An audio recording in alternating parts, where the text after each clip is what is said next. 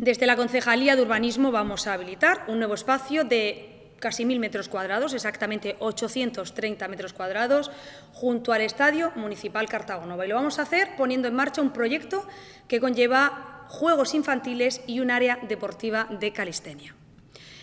Está claro que si la pandemia nos ha servido para algo es para demostrarnos la importancia que tiene el poder disfrutar de nuestro tiempo al aire libre y por eso hemos puesto en marcha este proyecto, que es prioritario y que es uno de los objetivos de este Gobierno municipal, transversal a todas las concejalías. Y por eso eh, vamos a sacar a licitación este proyecto a lo largo del mes de agosto.